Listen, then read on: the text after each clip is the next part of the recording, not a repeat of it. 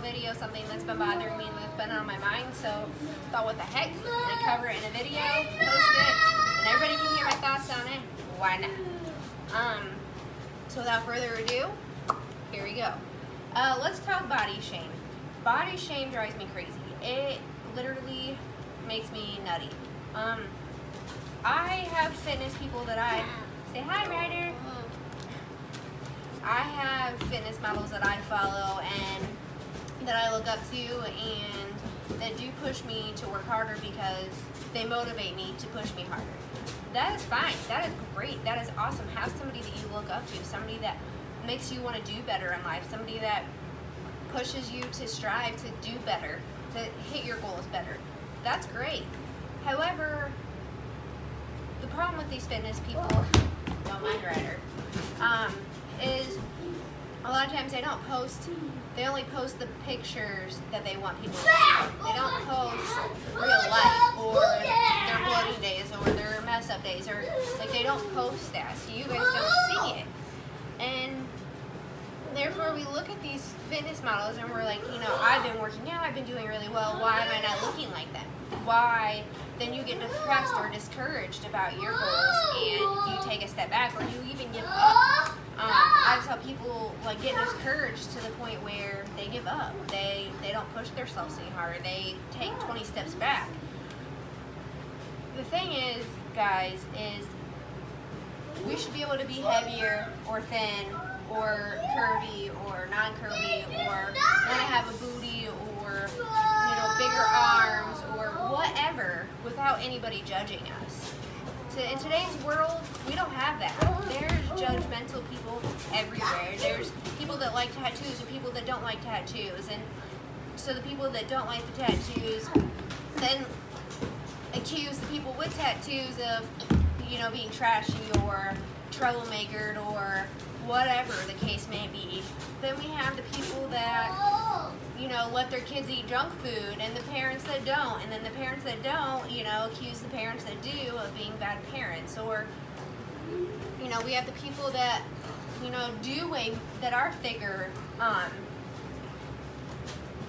that, and then the smaller people judge the bigger people, or the bigger people judge the smaller people. There's always so much hate in this world and it drives me crazy. Why cannot why can somebody not just be like themselves and everybody else be happy for them? Okay, so number one, you need to get rid of all the negativity in your life. I'm not saying that you're all that you're going to 100% like be able to get all the toxic people out. But you know, weed out the people that you can. Friends, toxic, throw them out. You know, I hate to say cut off family, but if you even have, sometimes it, it is blood that are toxic to you. You know, let them know how you, you're feeling, and if things don't get better, then take a step back. You need to do that for you, to make a better you. Because at the end of the day, the only person that is in charge of making this person happy is yourself. You know, you need to be able to get to look in that mirror and tell yourself, honey, you did an amazing job today. You are beautiful. Like, I pushed myself. I am hitting my goals. I am happy with who I am, with how I look, with, you know, everything. I'm not saying my life is perfect, and I'm not saying that there's not days where I get discouraged with myself. But I can look at myself in the mirror and you know, tell myself that I am beautiful and I feel that way and I can tell myself I'm happy with my progress and yeah! even when I have mess up and cheat days or a week that I might have too many cheat meals, um, that it's okay. Like I don't give up. I don't take, you know, 20 steps back. I don't throw in the towel. I don't just say, well, whatever. Like I've gained weight this week and my belly's more bloated this week, so I'm just throwing in the towel. I'm done. I don't, you, know, you cannot do that. I'm telling you this though, I started working out three years ago. Solid. Like I've always kind of worked out, but I really got into fitness about three years ago after I had this crazy man back here. And it was roughly after my husband and I's wedding. So it's been about two and a half, three years. Um, I don't have the progress that I would like to see necessarily um, or as big as progress as I've wanted to see. But I've taken pictures and I have grown drastically. My muscle mass has grown drastically. I have way more tone definition in my body. Um, my muscles are bigger than they once were. And progress pictures are where it's at. You, you have to do that.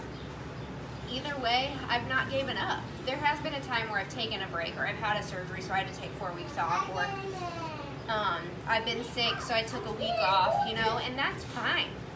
You need to let your body have a break. But as soon as I feel better or as soon as I heal from that surgery, I get back up and I do it. Not every workout do I put my full max in and my full effort but as long as I'm getting my body moving, that is better than sitting on the couch and putting it off and not doing it and not putting in the work. Um, I work out five or six days a week. It just kind of depends on what I'm feeling and if I didn't get a good workout in some days, then maybe that sixth day I'll, you know, I'll feel more motivated, so I'll push myself a little more. I don't lift weights every single time. Sometimes I box. Sometimes I flip tires outside. Sometimes I do a HIIT workout. Sometimes I will just do the elliptical, or sometimes I will just do weights, or I'll just do a resistance band workout, or you know, I'll go on hike with the family. Like I do whatever I can to just make my body move. It doesn't always have to be the same thing. I am a person that I get very bored, and I have to move things around and switch things up, or I get too bored, and then I do not want to do or I'm not as motivated. So I just feel like pushing myself into different aspects. The only thing I cannot do is run. I tried getting into running last year and my asthma started flaring up and I cannot do it. Um, but I did bike ride a lot about a year ago and I was bike, biking, you know, 20 miles at a time and stuff. But just whatever, my point is, is whatever makes you move and motivates you, then do it. Whether, you know, involve your kids watching your Netflix show. Take that, you know, 30 minutes of that episode and get a workout in. Whether it's 20 minutes or an hour or whatever you can get in, do it. You know, we, we all have excuses. You know, I don't feel well today or, you know, I'm too tired or I got up too early or there's just too much to do or whatever. You know, there's everybody's going to have an excuse. I don't care. Get the workout in. Push yourself. You have goals. We all have goals. We all want to be healthier in life you know, you can sit around saying like, I want to do this and I want to do that and want to do this. But until you get up and do it, it's not, you're not going to see no progress. Nothing's going to happen. At the end of the day, the only person that can tell you what to do is you. And the only person that can be happy with themselves is you. And if your kids see mom being happy with her choices and what she's doing, then they're going to follow because you're their role model. So they see you making a better choice in your life, then they're going to want to make the same choice in their life and take better care of themselves. I will also say this, like, I, the whole judgmental, I've had so many judgmental friends in my life. So many. And, you know, I have walked away from them. Probably not soon enough. They had put me through some damage but I have my about three strong friends that do not live in this. Two of them do not live in my same state, so I don't see them often. But at the end of the day, they're there for me. They push me. They motivate me. They, you know, don't hate on me because I do work out all the time or because I eat healthy or, you know, I am like 75% um, don't eat like meats and stuff and I eat vegan stuff and they don't they don't laugh, like make fun of me for that, I guess. Um, they're just there for me, and those are the people you need to surround yourself with and you need to be with. Um, my hubby, he is not a healthy person. He does not eat healthy by any means, and I don't. I might give him a little bit of crap. Honey, you had too much Mountain Dew today, but I don't. Or I tell him like it must be nice to have abs and eat all that junk food, but I don't give him a hard time and tell him he should stop doing that, and he doesn't give me a hard time for eating the way I eat. You just be supportive of the people you care about. I've been through a really rocky past. Um, my past in my life was a very tough time for me, and you know, I was very put down and, you know, the way I would color my hair or if I was too skinny or if I gained like a little bit of weight, like I always got put down. and it put me in a very bad spot. I, I wasn't, I did not love myself, and it put me in a very bad mindset. It took me a long time to stop being scared and to just realize, you know, this is my life and these are my choices and it doesn't matter what anybody else says or does, it, it is me that needs to be happy and they can say whatever they want, they can make fun of whatever they want, but as long as I'm doing these choices in life for me, then the rest goes to history. Who cares? Okay, so I just want you guys to all know that you are beautiful. You can do it. Start wherever you need to.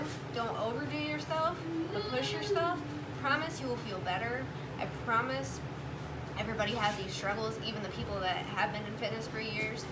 And I promise everybody's busy. Everybody can make up excuses. But starting is better than, than not starting. And doing it whenever you can is better than not doing it at all. I'm here to post these videos to be supportive, to push you guys, to be motivation. Um, I'm a mom of four. I have a hubby, I babysit, I run after my four kids, I have a puppy. Um, I'm not perfect. I've had three surgeries on my stomach. I have a scar down my belly. Um, I have mesh in my belly as well.